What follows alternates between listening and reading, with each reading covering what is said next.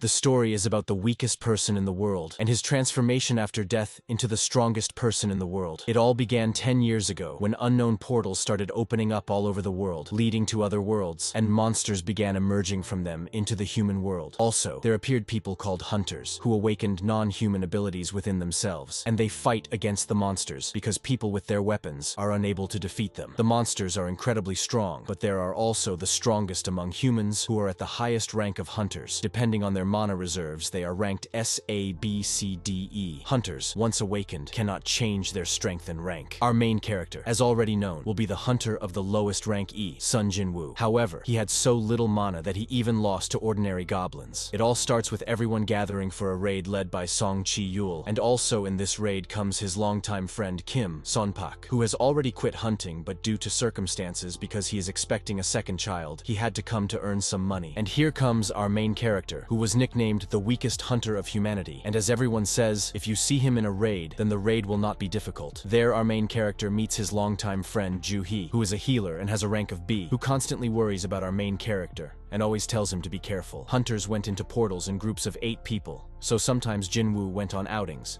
purely for the sake of quantity. Just like now, they took Sun to a low-ranking dungeon, where the comrades quickly defeated the boss and minions, but one of them finds a hidden passage, and Song Chi-yul claims that it is a double dungeon. Everyone is surprised, but not everyone wants to go there. Song Chi-yul gives everyone a choice, who wants to go and who doesn't. In the end, the last vote went to our son, and being in such a difficult situation in life, where his mother is sick, he decided and they went further. As a result, their path led to a huge hall, where they were surrounded by huge ancient statues with tools in their hands, and in the center, one huge statue, and there were no monsters at all all. It seemed that further they found the commandments of the temple. After reading all the commandments, Juhi grabs our son's hand and tells him that the statue's eyes moved, and he watches them. Well, then the doors to the room close. But there was one brave man who was against it but still went there. As soon as he approached the locked door to go back, the statue killed him. As it turned out, the statues were alive, and panic began among all who were there. The main character feels fear of the statues. As a result, the series ends with the fact that the central statue looked at our main character, but our hero, being the weakest, had a very good perception. Perhaps it saved him from death when he shouted for everyone to duck, after which the central statue emitted a beam from its eyes, and as a result, everyone who ducked survived. The main character doesn't understand what's going on, and in desperation concludes that they will all be killed here. And this is not a D-rank dungeon.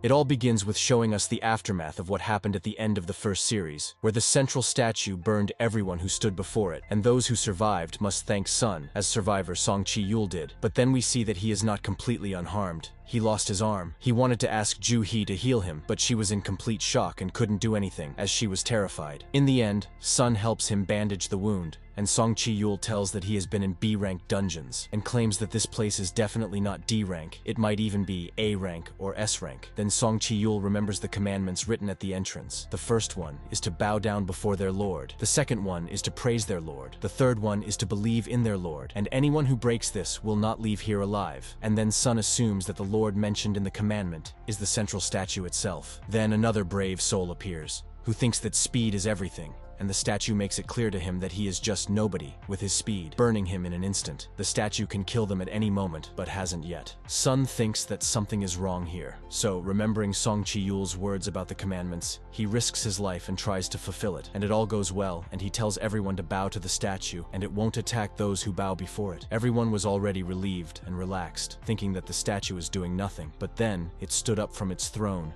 and walked towards the hunters. Sun remembers that the second commandment required praising their lord, but he doesn't know how to do it. And then a hunter appears who studied ethnology and knows a couple of prayers. But everything was fine until he started praising the wrong lord. As a result, he was crushed. Panic began. Everyone scattered in all directions. There were those who stood opposite the statue, and they were immediately cut down. Sun notices that not all statues have weapons. Some have musical instruments, and he immediately tells everyone to run to the statues with musical instruments in their hands, running to a statue with his friend Juhi. He realizes that there is one statue with a musical instrument per person. He again risks his life and starts running to another statue but the central statue catches up to him and almost kills him. But he manages to reach the statue, and the central statue returns to its throne, and the ordeal is over. Juhi immediately runs to the maimed Sun to heal him, but then he notices that Sun has lost his leg. Next, in the center of the huge hall, an altar appears, which is often mentioned in myths, they are for sacrifices and offerings to the gods. As it was written in the last commandment to believe in their Lord, everyone immediately understood that they need to sacrifice someone, but they immediately accused Song Chi-yul of being guilty of them being here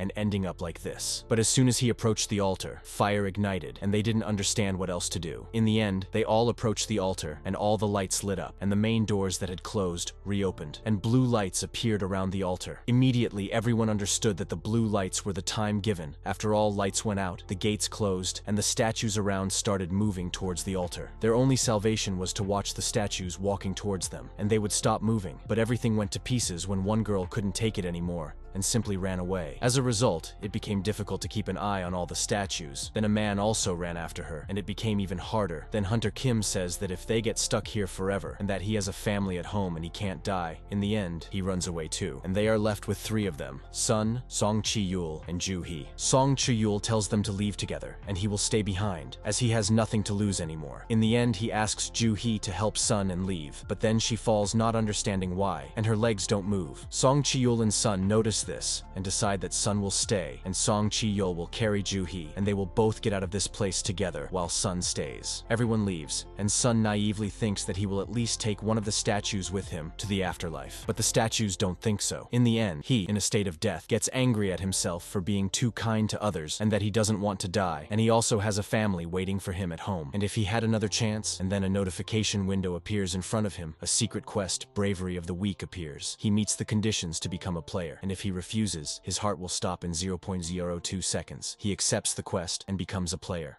He became a player and woke up in the morning in the hospital, completely uninjured. His leg was intact, his arm was intact, and he thought it was a dream. Before he could understand what was happening, people from the Korean Hunter Association, who were observers, came to his ward. They immediately tell him that he is one of the survivors from the double dungeon, and he spent three days in a coma. They also told him that they found him at the entrance to the double dungeon and found no statues or temple there. There was only sun and nothing else. Sun was surprised himself because all this was true, and the hunters from the association told him that he had survived the second awakening. Such an event is very rare, but hunters awaken stronger. They checked him on a mana measurer, but were clearly shocked that he had less mana than even a bug, and in the end, they just left. But one question still interested them. How did Sun survive? As soon as they left, Sun wonders why they didn't see this window in front of him, and he realizes that only he sees this notification window. His sister Gina comes, who immediately scolds him for not valuing himself and for how she worried about him. He asks her if she sees the notification window, but she doesn't see it either. Gina suggests to him that to read the message, he needs to open the mailbox, and immediately a quest appears, the beginning of strength training. This system was created to help the player develop. In case of not completing the quest conditions, the player is penalized. Opening the daily strength training quest, he needs to do push-ups, squats, torso lifts,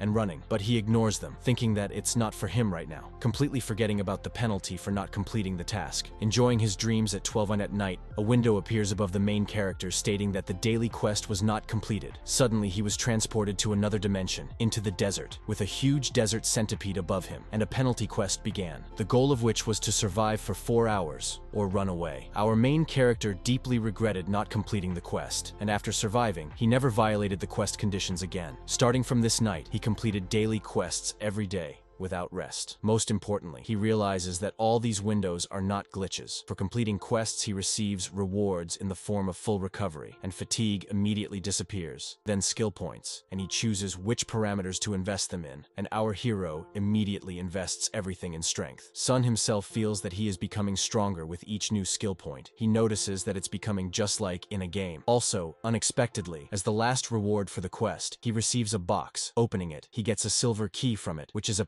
passage to the dungeon, where he can level up his skills, levels, and find new items. After leaving the hospital, our main character goes to his mother in the hospital, who is suffering from a rare disease called eternal sleep. After that, he promises to become stronger and definitely cure her, and takes the silver key and goes to its entrance. Using the key, he enters the dungeon, which seems to have not changed the real world, but only he sees this dungeon. As soon as he entered the dungeon, he realized that there are a lot of monsters here. Goblins come out in front of him, the same ones he couldn't handle alone, and here there are three of them at once. Pulling himself together, Sun realizes that he has become much stronger and easily defeats them, but after defeating the goblins, a stronger monster unexpectedly appears, Lucan the Steeljaw. Unexpectedly, he froze in place as his legs stopped obeying him out of fear.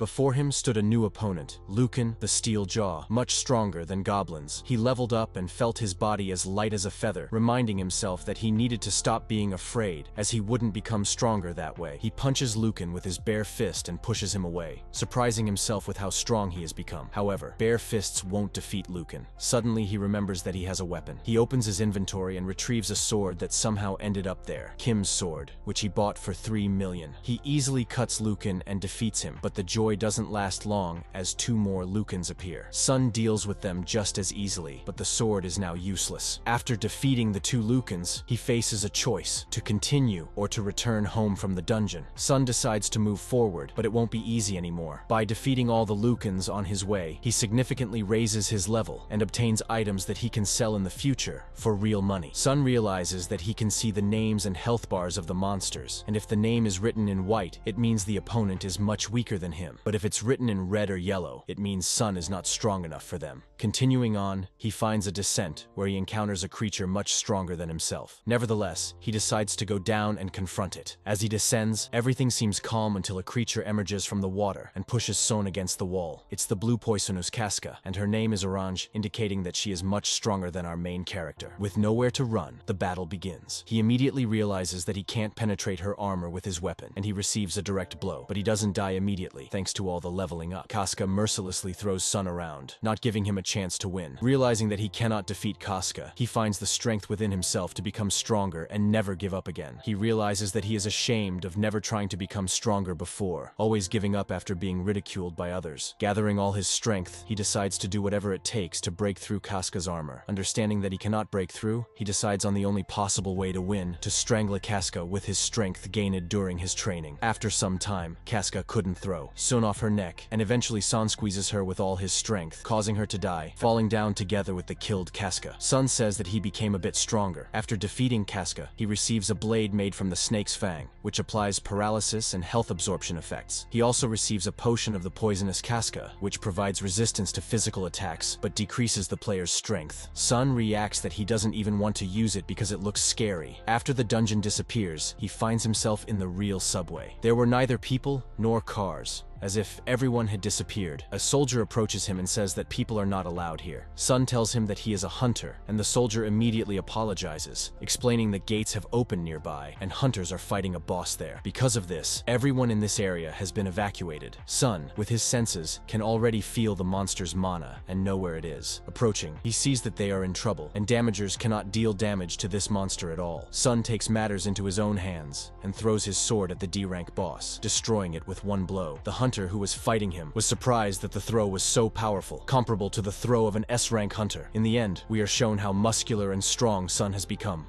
And the episode begins, just as you love it, with your favorite main character acquiring a harem. Oops, what am I talking about? The entire hospital starts discussing Sun, how his body has changed, and how handsome he has become, noting his newfound muscles despite being E-rank. One nurse didn't believe the rumors, but she ended up going to tell Sun that he was being discharged today and needed to come to the front desk, feeling so embarrassed that she even took Sun's number, thinking he wanted to receive the results of his tests. The next day, Gina wakes up Sun and notices that his body has indeed changed, with him starting to work out. He really has changed, judging by the previous episodes. Sitting on the couch, he looks for ways to earn money as a hunter, and suddenly he notices people gathering for a raid. He arrives at the meeting point, where he is greeted by Juan Don Seo, who tells him about the raid they are about to embark on. All Sun has to do is carry their backpacks and belongings, and they will pay him, or so he thought at least. A new character appears, Tony Stark's son, Jin Ho Ye. Okay, just kidding. Sun immediately notices that his equipment is very expensive. As soon as they enter the dungeon, Sun notices that no one is there. After proceeding further, they find themselves in a trap, starting to panic as if they were in an anthill. Suddenly, Sun points out to everyone that they are coming from above. Immediately, everyone reacts and easily deals with the monsters, showing that these hunters have been working together for a long time. Later, one of the hunters notices that the wounds on the dead monsters don't look like those left by humans or hunters, to which Juan indicates that there is stronger prey ahead, namely, the boss. As they move forward, Sun begins to wonder why everything is so easy and simple, and whether these hunters want to betray them. On their way, they encounter many semi-dead monsters. Proceeding further, they find the boss's lair, where there are many mana stones, but the boss turns out to be asleep at this time. After that, Juan tells his people to get the tools and start mining mana stones, to which one replies that he forgot them outside and they need to go back for them. Immediately, Juan tells San and Jin Ho Yi to stay here with the boss and guard the mana stones, while they go for the tools and return. San is surprised and stays, while they leave. And after they leave, the entrance to the boss is exploded by the magic of one of Juan's hunters, and the path to the boss is blocked. From the noise, the boss wakes up, and Juan says that the two of them will never defeat this boss, and they will die there, and all this was done so that they wouldn't share their loot with them. In the end, Jin Ho Yi says that he will defeat this boss alone through his fear, but San throws off his bag from his shoulder and says that he will defeat him himself.